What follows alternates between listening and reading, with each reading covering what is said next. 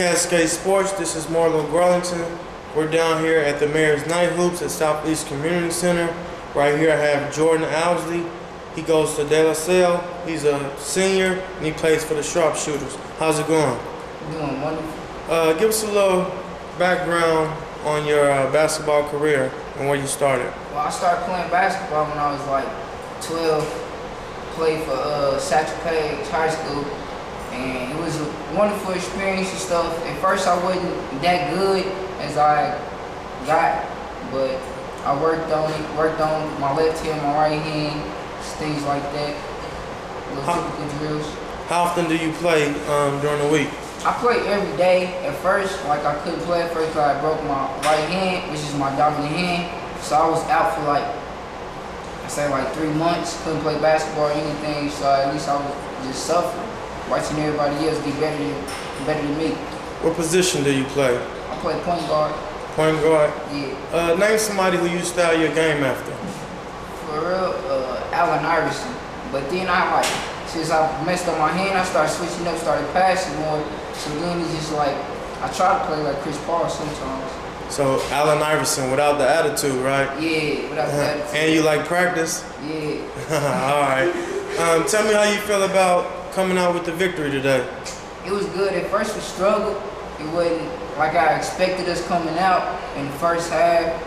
We struggled a little bit, but then we got it together in the second half. We was down by like five points and like a minute left, but we pulled it together. Well, as a team, basically. Right. Definitely takes a team effort. But as we all seen, you came away with the winning layup. Pretty lucky, but tell me how you feel about that. I feel, I actually feel good about it, knowing I had them tendencies in my mind that I ain't even gonna shoot it, my jumper wasn't on, so I'm just go ahead and try to draw a foul or just go ahead and try to make the layup. All right. Um, last question too. With Mayor Sly James implementing Mayor's Night Hoops, Mayor's Night Kicks, Club KC, he's even having a block party um, next weekend down at the Union Station. Tell us how you feel about the activities that he's implementing in the community for the It's- youth. It's good, especially with the night hoop basketball because you get to play with everybody around the city, not just a typical group of people or nothing like that. So you get to see everybody how they skills is. And like me, I like to watch other players. So then, like I see what they doing and I think it's nice, and I try to go ahead and try to do the same thing that they doing. Try to work on that. It helps me get better. So I like. it. All right, great. Well, you heard it from Jordan Owsley of the Sharpshooters. He's a senior.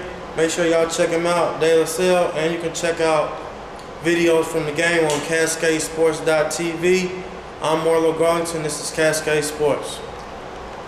CMG wants you to always remember the victory we call success goes to the best prepared. When you invest in your community, you are really just investing in yourself. Thanks.